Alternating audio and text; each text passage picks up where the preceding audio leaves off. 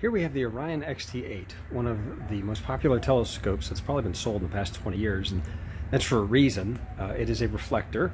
It has all the advantages of a reflector. Uh, there's no lenses. It uses mir uh, parabolic mirror. Also, this one's on a Dobsonian mount. That is the point and click mount. Uh, it's my favorite. Now, this Orion, um, it has a bit of a problem. It has a problem with stiction. Uh, so, you know, once you get it moving, once you get it moving, it's easy to move. Uh, but that first motion, getting it to first move, you actually have to push pretty hard. Uh, same with both directions.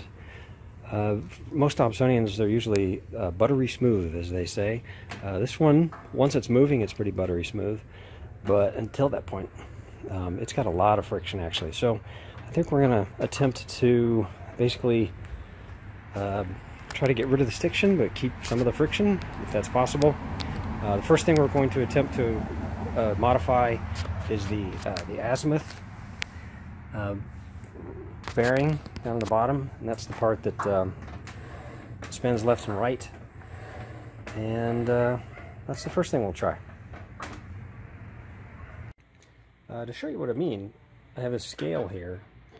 It's a spring-loaded scale.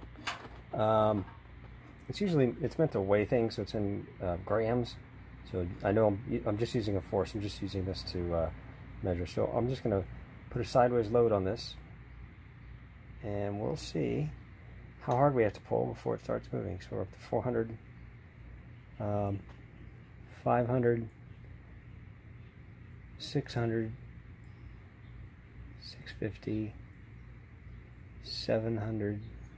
So, okay, so about, need to put a side load of about 700 uh, grams. And I know, I know I'm using the wrong units, but this is all I have to measure with right now. Let's try again, see if it's repeatable.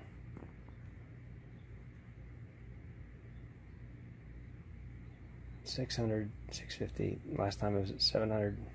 Okay, so about seven hundred to get this thing to start rotating. Once it's moving, it's pretty easy. But um, let's go ahead and take the mount apart and see what we can do. We have some. We have a first trick we're going to do. We're going to actually put a try to put a, a vinyl album there as a, as a surface.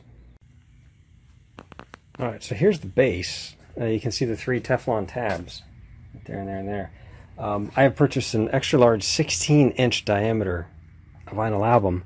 Now I'm going to put it on there, uh, but unfortunately it's still not quite far enough. So I have to move these. I was going to move the Teflon pads in, but um, I actually have some Teflon, so I'm just going to I'm going to cut a couple more squares and put them on just a little bit further uh, in. So eh, we'll see what happens. Um, and these are these are a little bit thicker, but we're going to put them in about a quarter of an inch, and hopefully that is that's enough. So go ahead and pause it.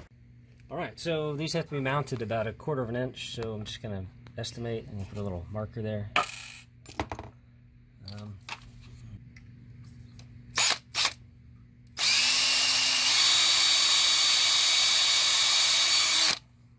that is some tough wood. All right. All right, so put this one back in.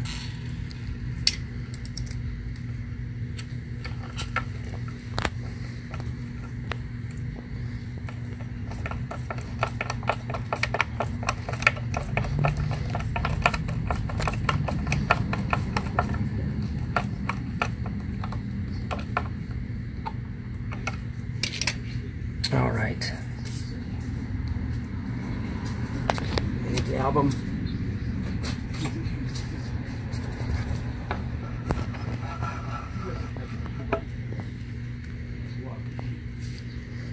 That's actually not far enough. Uh, the rumor is it has to be right on the grooves instead of just the flat part, so we're going to move that in a little bit.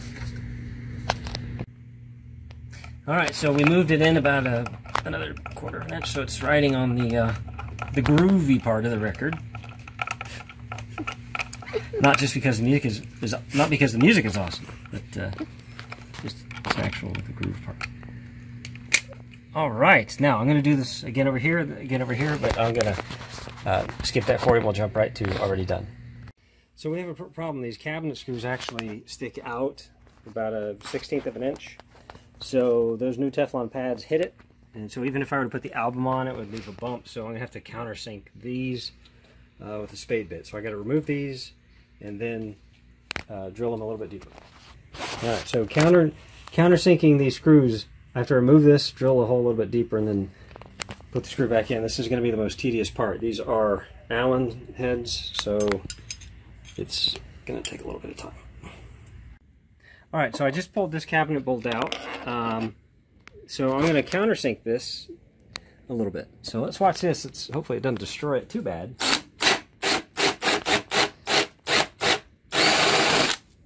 Okay, that should be plenty. Let's see if this works.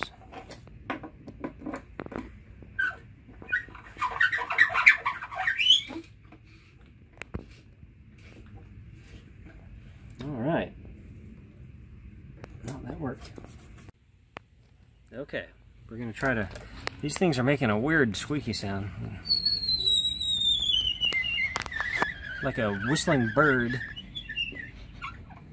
That was the quietest one so far.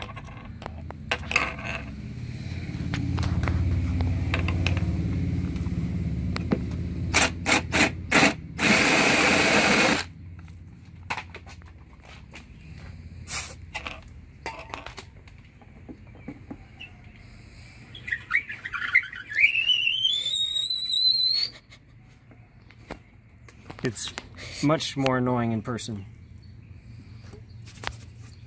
All right, three left. Okay, so that's done.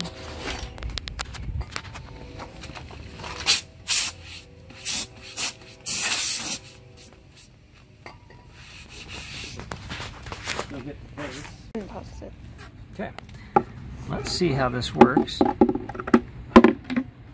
Just want to see if, if there's any that's actually quite quite smooth. Um, we're gonna try something here. Um, here.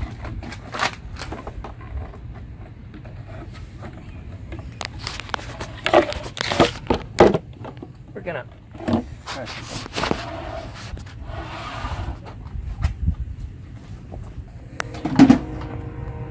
So my, my goal with this is to reduce the friction. All right, so we just have the new Teflon on, the bigger, it's it's a larger pad, it's one and a quarter square instead of one inch square. And if you remember before, uh, we had to pull about 700 grams. I know that's the wrong force, but we had to pull 700 grams on the scale uh, before it would move. So let's see what we pull just to overcome that, that stiction, just the first movement. So five, oh, 500 there, okay. Let's see if, how repeatable. Let's move it a little bit this way. Let's see if we can get, we were doing 700, oh my gosh, look at that. So, let's see. So we've, we've already reduced it from 700 to, okay, 700 to about 400. All right, let's see what happens when we add the album to it. So next up, we're gonna put the album on here. Um, unfortunately, the hole in the album is um, smaller than this bolt, so I'm going to have to very, very, very carefully um, make the hole larger on the album.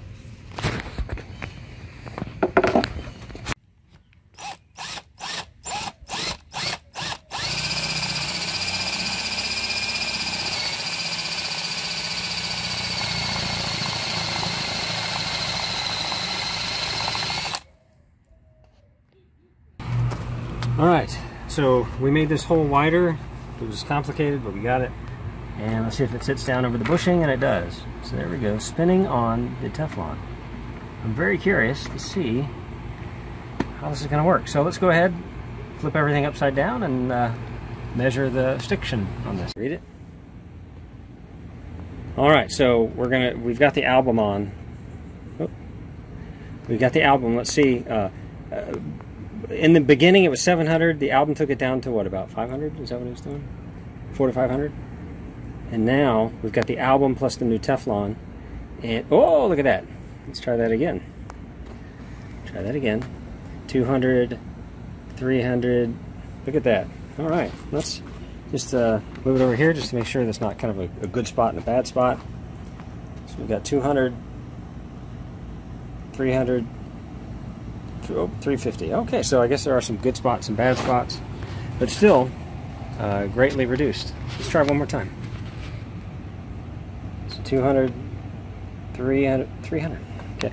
Now, one thing to keep in mind is that the stiction is actually um, pretty much about the same as just the pulling force that's needed to keep it in motion. Before, um, before you'd pull it all the way up to 700, and then when it would let go, you could pull it with much less. So now the stiction is almost the same as the friction. So it's very smooth, actually. It's really nice. I can just I can just move it with my finger now. So the album trick seems to uh, be working. Uh, and of course, these videos couldn't have been done without my helpful assistant, Caroline.